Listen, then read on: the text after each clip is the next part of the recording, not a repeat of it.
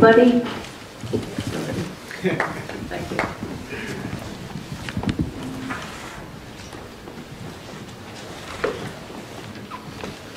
My name is Nobody, and I'm uh, candidate for governor. Um, And, uh, but I also happen to be a uh, minister in Cannabis Church.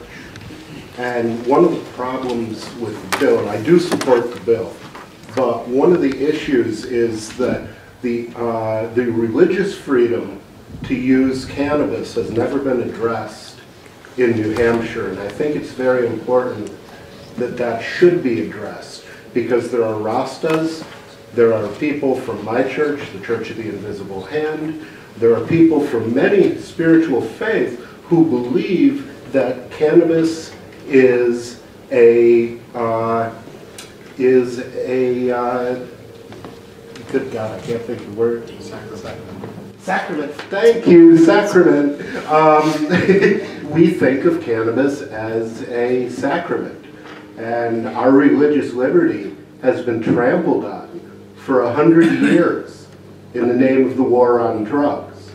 Okay? Nobody should go to prison for practicing his religion. Nobody should be fined for practicing his religion. No church should be limited in the amount of sacramental cannabis they can keep around, or whether they limit that cannabis to donors. And this is a this is a very important um, issue that's been neglected. Now, of course, the Supreme Court has heard this argument and rejected it, but the basis on which they rejected it was it hasn't aged well. Because their argument was if people were smoking marijuana, as if people weren't smoking marijuana, if people were smoking marijuana, that would be such a breach of the public order that there would be dogs and cats living together, hell and brimfire falling from the sky. It would be a disaster. Well, people smoked weed then, people smoke weed now, and there is no disaster. The only disaster is the war of genocide that you people have been waging against us for a hundred years. That has been a disaster, you know. I think you should learn some of the things that kids learn, stoner kids learn, when they find out that the government is at war with them.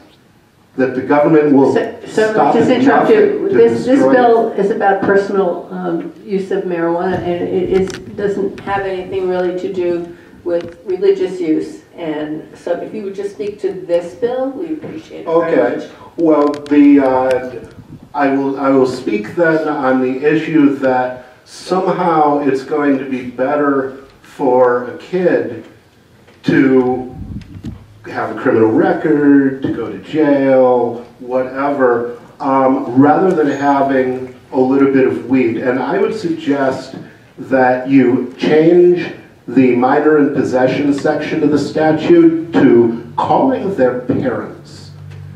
Because having a little bit of weed, that's a calling the parents level offense.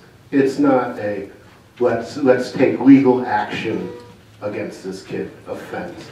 The idea that kids should be subject to more criminal uh, criminal liability than adults kind of flies in the face of uh, of reason when you think about it.